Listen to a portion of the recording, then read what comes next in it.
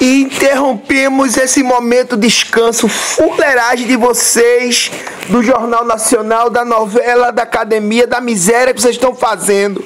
Para a gente revelar um investidor piramideiro sincero. Vocês reconhecem que é pirâmide e estão esperando a próxima fuleiragem. Vê a miséria.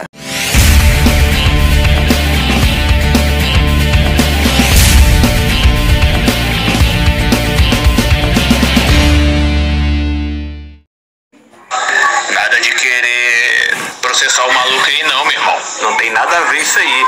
Vocês sabem que é pirâmide, vocês sabem que, que isso aí é tudo enganação. Vocês sabem que vocês estão tirando dinheiro de quem entra por último na pirâmide, muitas vezes pessoas que nem sabem da parada.